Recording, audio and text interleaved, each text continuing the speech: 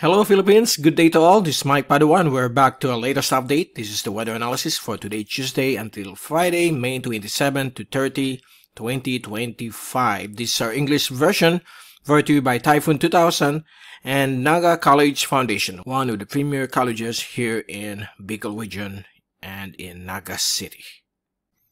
But before we begin, we'd like to uh, thank our partners, Aboitiz Power, Bank of the Philippine Islands Sustainable with you. If you're interested, just click on the link up here. Or if you're watching via Facebook, visit the description page for more details regarding BPI Sustainable with you.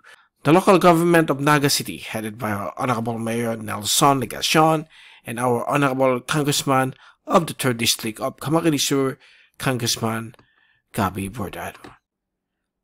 Now let's begin with our latest update. Looks like uh, we can only count a few days or seven days or more before the start of the wet season or the rainy season here in the Philippines. And uh, Pagasa is now reporting over the news that uh, either on or before the first week of uh, June, the onset of the rainy season is upon us. Okay, and we will bring you the very latest once the news will come out. But so far, we are now shifting from southeast easterlies to south to southwest. So that will be the wind direction for the next five to seven days. But so far, we don't have any uh, tropical cyclone developing, LPAs, just a possibility of a low pressure area over the uh, South China Sea, West Philippine Sea area sometime during the first week of June. But this is connected with a uh, strong frontal system that is set to form south of Japan into Taiwan and southern China. This will trigger alongside with a thermal low pressure area over uh, central China and this will trigger the onset of the southwesterly wind flow and if you hear the southwesterly wind flow it means that the southwest monsoon is fast approaching and it's likely if you count the amount of rainfall of five consecutive days of at least 20 millimeters and uh, more than 50% of Pag-asa weather stations reporting rainfall or significant rainfall amounts, then our Weather Bureau Pag-asa will officially announce that we are now on the start of the wet rainy season. Okay, so watch out for that. Now here's the latest GovSat that we uh, created yesterday, valid until tomorrow, Wednesday. Here's now the tropical wave. Uh, actually, this has become 91W uh, 48 hours ago, but it's uh, weakened into an open tropical wave, and it's moving over the uh, West Philippine Sea, not having some development as of this time, still uh, disorganized and the easterlies here. Is beginning to weaken a bit and it will pave way to more south southerly to southwesterly winds within the next five days. And this is the frontal system that will enhance that uh, southwesterly wind flow once a thermal low develops here over central China and the uh, development of uh, high pressure cell over South Indian Ocean that will pave way for the uh, southwesterly wind flow to uh, debut over our country. And uh, watch out for uh, thunderstorms, lightning strikes, flooding if we have this uh, uh, severe rainfall during the afternoon or evening in two-thirds of our country. And right now, if we check the latest fast animation from the University of Wisconsin tropical cyclone page, here's now the uh, tropical wave organizing, but yet uh, not yet uh, fully healthy over the West Philippine Sea and uh, some thunderstorms appearing once again once the afternoon progresses into the evening. So here's the zoom in satellite animation as you can see from 11 a.m. to uh, 4 p.m. Developing thunderstorms are forming across vast areas of Mindanao Visayas, uh, what else? Uh, we are going to post this and move forward to around uh, 4.30 this afternoon. There you go. Uh, there are thunderstorms here over southern Tagalog provinces, particularly southern Quezon, uh, the western side of Camarines Sur, 1st District, along uh, Del Gallego, Ragay, and also here over the mountainous and uh, plains of uh, Ilocos region, particularly Ilocos provinces. There are thunderstorms again right now, and some areas of uh, Cagayan Valley, and uh, vast area of Visayas, Panay, parts of Negros, parts of Samar Leyte, parts of Masbate, and uh, large area of Mindanao. So this will be a daily occurrence. And once more than 50% of Pag-asa weather stations reporting uh, uh, this uh, 20 millimeter rainfall accumulation for the next five days, then we will be hearing an announcement from Pag-asa that the start of rainy season has uh, commenced. Okay, so here's the uh, forecast for the next five days until Sunday. This from the European model, as you can see this afternoon. Uh, roughly two thirds of the country is being uh, affected by localized thunderstorms.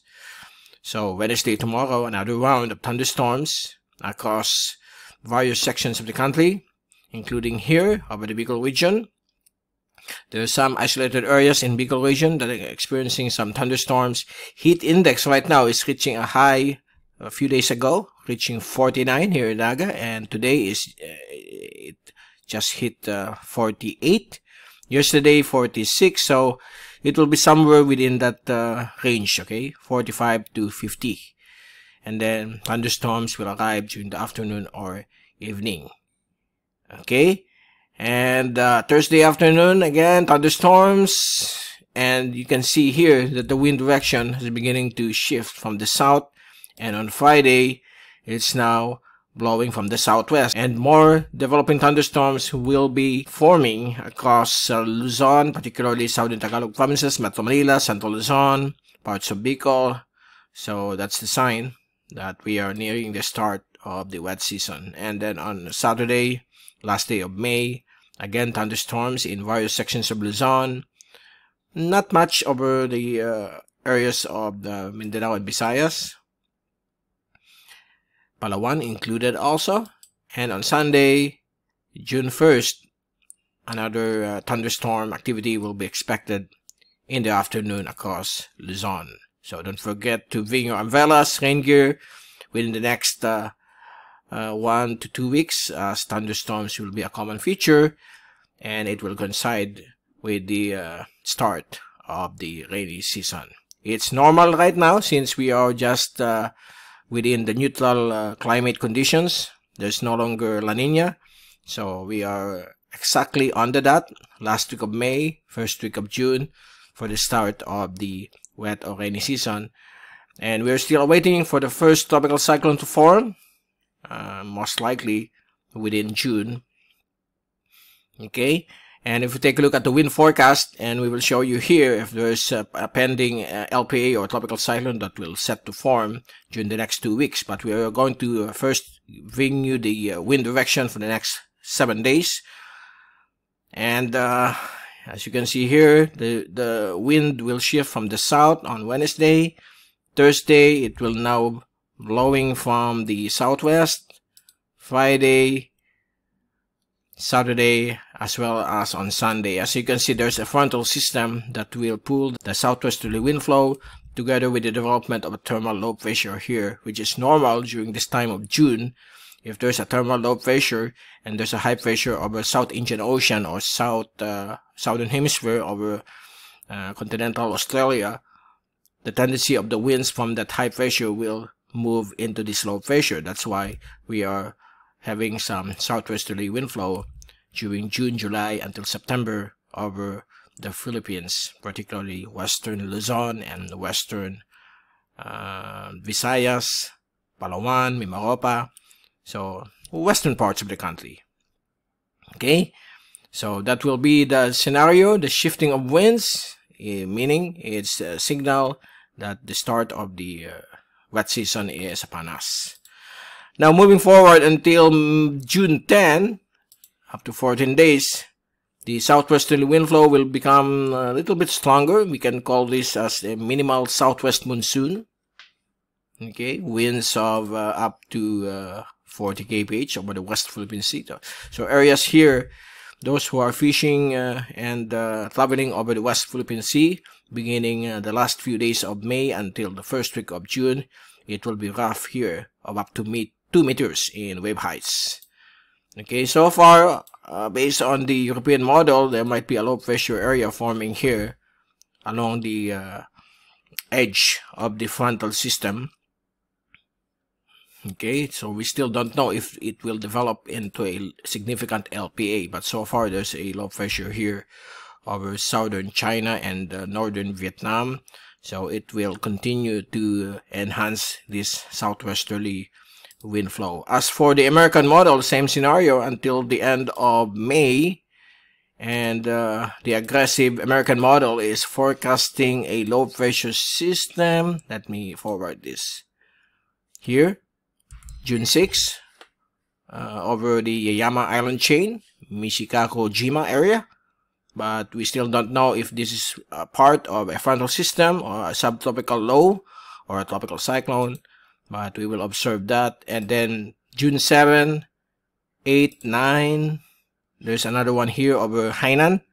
And uh, we will uh, simply uh, call this as a low pressure system that could form here. So you can see the southwesterly monsoonal flow is already intact during the first 10 days of June based on the American model. But uh, like I said, more than 7 days of the Amer American model forecast remains highly uncertain, less than 20% accurate.